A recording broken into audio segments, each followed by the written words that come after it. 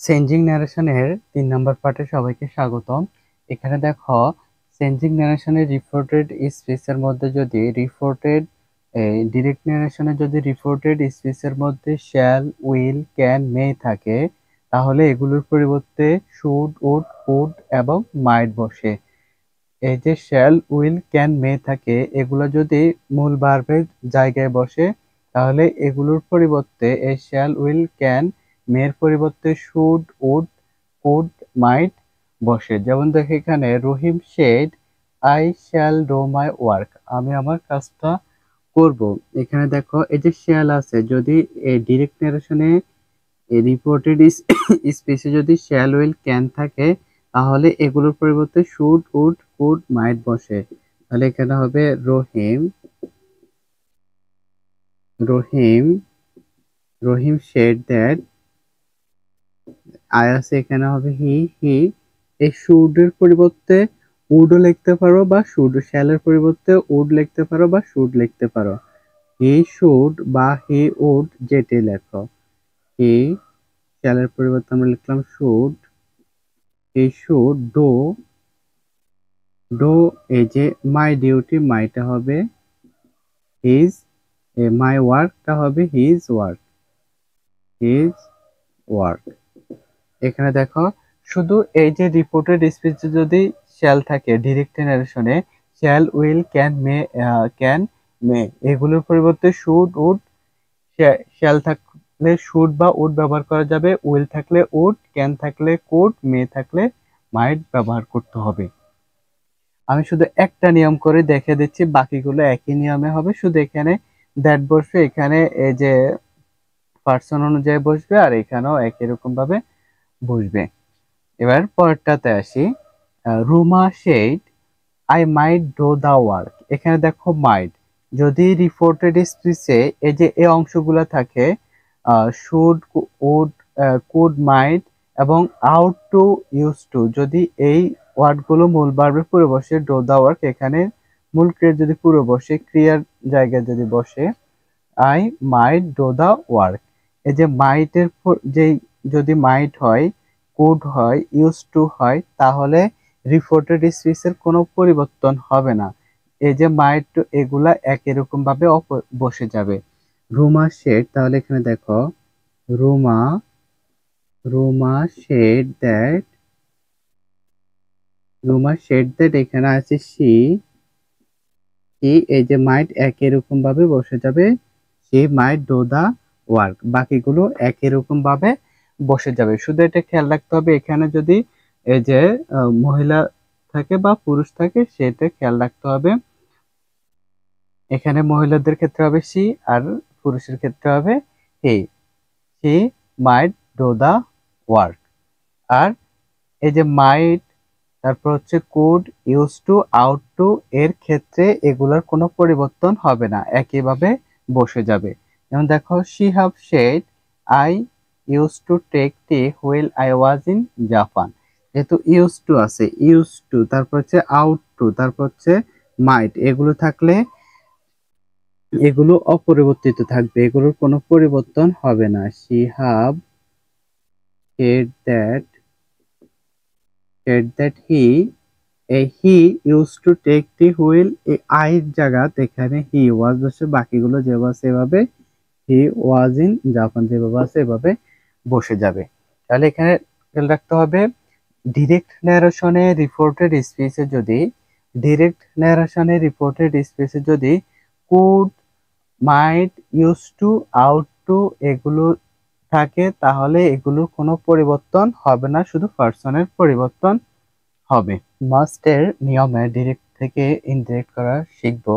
প্রথমত হচ্ছে যে ডিরেক্ট নিরেশনে মাস্টটা যদি বাধ্যবাধকতা বোঝায় মানে দৃঢ় অনুমান বোঝায়, তাহলে সেই ক্ষেত্রে মাস্টের কোনো পরিবর্তন হবে না, এটা অপরিবর্তিত থাকবে। এবার যদি মাছটা সাধারণত প্রকাশ করে বা দৃঢ় অনুমান না বোঝায় যে এটা করতে হবে বাধ্যতামূলক, যদি না হয় সেই ক্ষেত্রে মাস্টের পরিবর্তে ইনডিরেক্ট করার সময় মাস্টের পরিবর্তে হ্যাড টু বসবে। এবার যদি ভবিষ্যতে বোঝায় মাস্ট দ্বারা যদি ভবিষ্যতে কিছু বোঝায় তাহলে এই মাস্টের পরিবর্তে উড হ্যাভ টু বসবে দেখো এখানে my father said you must speak the truth আমার বাবা বলল যে, তোমাকে অবশ্যই কি সত্য কথা বলতে হবে? এটা বাধ্যতামূলক, বাধ্যবাধকতামূলক, তাহলে এখানে এই মাস্টের কোনো পরিবর্তন হবে না। এখানে দেখো আমি ইন্ডেক্ট করব my my father said that said that এখানে ইউটা হচ্ছে যেহেতু মাই ফাদার ইউটা হবে আই আই আই মাস্ট এটা যেভাবে আছে এভাবে বসে যাবে। I must speak the truth তাহলে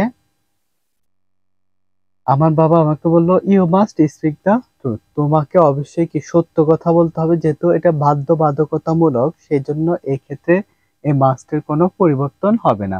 এবার দেখো my mother said you must eat vegetable in order to get vitamin আমার মা আমাকে বলল যে, তুমি যেহেতু ভিটামিন বা ভিটামিন পাওয়ার জন্য সবজি খেতে পারো, শাক সবজি খেতে পারো, তাহলে শাক সবজি খেতে হবে। এটা বাধ্যতামূলক নয় যে তোমাকে শাক সবজি খেতে হবে। তাহলে এখানে মাস্টের মাস্ট অপরিবর্তিত থাকবে না মাস্টের পরিবর্তন হবে।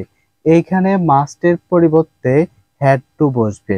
এ দেখো, আমরা এটা সমাধান করি, এটা দেখ এরকম শেড দ্যাট এখানে দ্যাট পর্যন্ত, ঠিক আছে? ইউটা হচ্ছে এখানে আই মানে আমি নিজে আর কি, যেহেতু মাই মাদার শেড এখানে মাই আছে সেই জন্য ইউটা হচ্ছে আমি।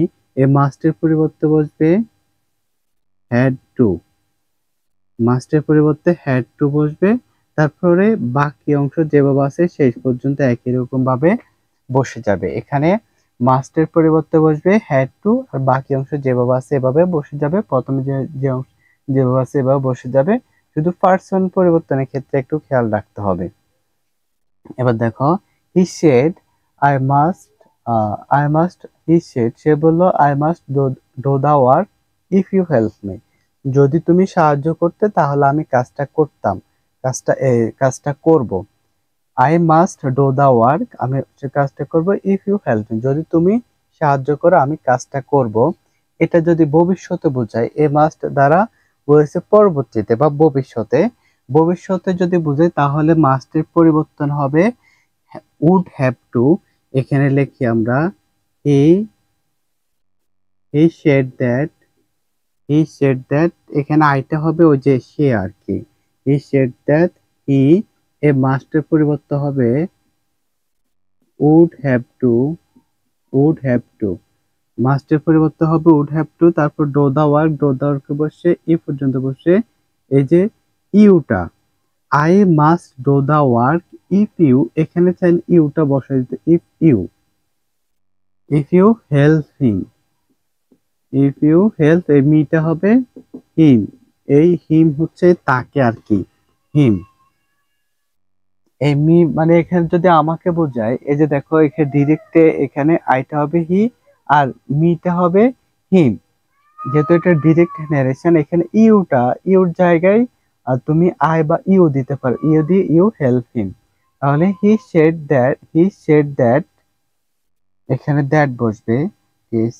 হি শেড দ্যাট এখানে আইটা হবে হি যেহেতু বলছে he said I must do the work if you help me তাহলে হি শেড দ্যাট আইটা হবে হি এ মাস্টের পরিবর্তে হবে would have to do the work if you help me তাহলে এখানে ইফ ইউ হেল্প হিম এখানে পার্সনের পরিবর্তন হবে।